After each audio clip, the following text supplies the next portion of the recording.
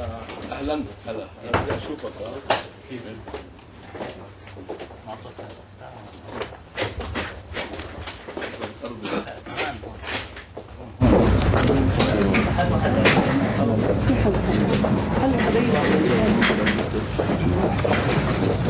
إحنا خلينا نستفيد من الجلسة اللي نتبادل الآراء وناخذ القرارات اللازمة. أنا جيت من اجتماع ال- الأوروبي في روما. تحدثنا عن لس مؤتمر لس العالمي المستوى اللس الدولية لل- للاتحاد الأوروبي. و يمكن يكلفونا أن نشرف على تأسيس لس أفريقيا لأنه أفريقيا غايبة عن الاتحاد الدولي.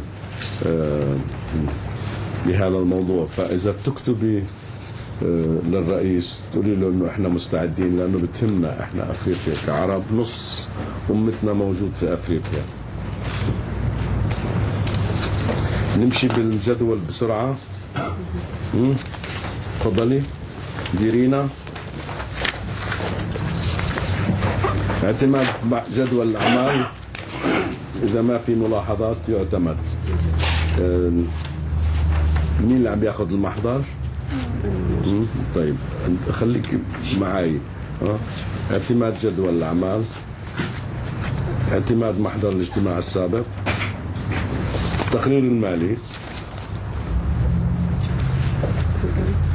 بالنسبة ل 2010 تفضل. بسم الله الرحمن الرحيم. تقرير المدقق المستقل. السادة جمعية خبراء التراخيص الدول العربية المحترمين. عمان المملكة الأردنية الهاشمية دققنا القوائم المالية المرفقة لجمعية خبراء التراخيص الدول العربية عمان المملكة الأردنية الهاشمية والمكونات الخاصة بالمركز المالي 31 ثاني الأول 2010 وقامت بهذه الأعمال والتغيير في القانون المحتفظ به وقامت الاتفاقات النقدية للسنة المنتهية وملخصا للسياسات المحاسبية الهامة والإيضاحات الأخرى. مسؤولية الإدارة عن البيانات المالية. إن الإدارة مسؤولة عن إعداد وعدالة عرض هذه القوائم المالية المعايير الدولية إعداد التقارير المالية. تشتمل هذه المسؤولية على تصميم وتطبيق والمحافظة على الرقابة الداخلية المتعلقة بإعداد وعدالة عرض بيانات مالية خالية من الأخطاء الجوهرية سواء كانت بسبب الغش أو الخطأ وكذلك اختيار وتطبيق سياسات محاسبية ملائمة وعمل تقديرات محاسبية معقولة في ظل الظروف القائمة. مسؤولية المدقق من مسؤوليتنا هي إبداء رأي في هذه القوائم المالية استنادا تطبيقنا لها لقد قمنا بتطبيق وفق المعايير الدولية للتطبيق. أن هذه المعايير طلبت من متطلبات قواعد السلوك المهني وأن يخطط وينفذ التطبيق بغرض التوصل إلى تهديد معقول حول ما إذا كانت القوائم المالية خالية من الأخطاء الجوهرية.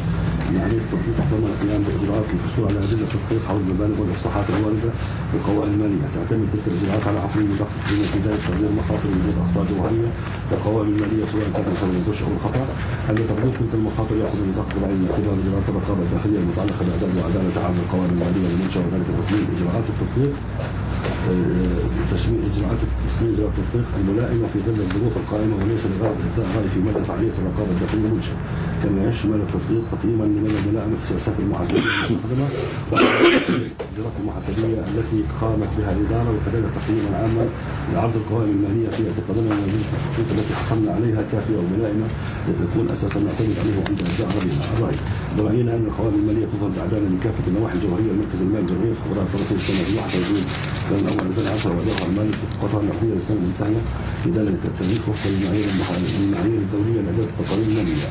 تحقيق الحسابات وسام الدين أحمد محاسب قانوني رقم 25 عام 2020 اذار 2012 شكرا جزيلا. أنا شايف البيانات مالية عن 2011 2010 وين 2011 أيوة، آه أوكي. فاذا إحنا نعتمد بيانات الماليه عن 2010 ونأخذ 2011 آه، واضح إنه إنه ما فيش عجز لأنه سددنا العجز بحيث إنه تقدم البيانات تقديم البيانات للوزارة بعد بعد إقفال العجز. 2011 تفضل. بسم الله الرحمن الرحيم تقرير المتخصص المستقل السادة جمعية خبراء التراخيص الدول العربية المحترمة عمان المملكة الأردنية الهاشمية لقد دققنا القوائم المالية المرفقة لجمعية خبراء التراخيص الدول العربية عمان المملكة الأردنية الهاشمية المكونة من قائمة المركز المالي كما في 31 كان الأول 2011 وقائمة إنتاج الأعمال وتغييرات الفائض في الفائض المحتفظ به وقائمة التحقيقات النقدية للسنة المنتهية آه، السنة المنتهية بذلك التاريخ وملخصا السياسات المحاسبية الهامة والإيضاحات الأخرى. مسؤولية الإدارة عن البيانات المالية. أن الإدارة مسؤولة عن إعداد وعداله عرض هذه القوائم المالية وفقا للمعايير الدولية لاداء التقارير المالية تشتمل هذه المسؤولية على تصميم وتطبيق والمحافظة على الرقابة الداخلية المتعلقة بإعداد وعدالة عرض بيانات مالية خالية من الأخطاء الجوهرية سواء كان بسبب الغش أو الخطا وكذلك اختيار وتطبيق سياسات محاسبية ملائمه وعمل تطبيقات محاسبية معقوله في ظل الظروف القائمة. مسؤولية المدقق إن مسؤوليتنا هي إبداء رأي في هذه القوائم المالية اهتماما معنا قد قمنا بتطبيق دستور المعايير الدولية للتطبيق أن هذه المعايير تتطلب التزاما متطلبات قواعد السلوك المهني والمخططة والمنفذ للتطبيق بغرض التوصل إلى تحديد معقول حول ما إذا كانت القوائم المالية خالية من الأخطاء الجوهرية. إن عملية التطبيق تتضمن القيام بإجراءات للحصول على أدلة تدقيق حول المبالغ والإفصاحات الواردة في القوائم المالية تعتمد تلك الإجراءات على حكم المدقق بما في ذلك تقدير مخاطر وجود أخطاء جوهرية في القوائم المالية سواء كان بسبب الغش أو الخطأ عن تطبيق تلك المخاطر يأخذ المدقق بعين الاعتبار الرقابة الداخلية المتعلقة بإعداد وعدالة عرض القوائم المالية للمنشأة وذلك لتصميم وإجراءات التطبيق الملائمة في ظل الظروف القائمة وليس لغرض إبداء رأي في مدى فعالية الرقابة الداخلية للمنشأة. كما يشمل تطبيق تقريبا لمدى ملائمة السياسات المحاسبية المستخدمة ومدى معقولية التقديرات المحاسبية التي قامت بها الإدارة وكذلك التقييم العام لعرض القوائم المالية في اعتقادنا أن النسبة التي حصلنا عليها كافية وملائمة لتكون تكون أساسا نعتمد عليه عند إبداء رأينا أما برأينا أن القوائم المالية تظهر بعدالة من كافة النواحي الجوهرية المنتج المالي لجمعية خبراء التراخيص كما في 31 كان الأول 2011 وأداء المال في الفترة المقبولة السنة المنتهية بذلك التاريخ وفقا للعلم وفقا للمعايير الدولية لإعداد التقارير المالية. انفصل خطوط الحسابات حسن الدين أحمد محاسب قانوني رقم 523 عمان في 8 نيسان 2012 شكرا. شكرا جزيلا. شكرا جزيلا. آم، إن آه، هنا عندنا عجز 36 ألف. أيضا إقفاله وتعديل البيانات. بتبرع من آه، طلال أبو أزالي نفس الشيء وتقديم البيانات المالية للسنتين ليش تأخرنا السنة الماضية؟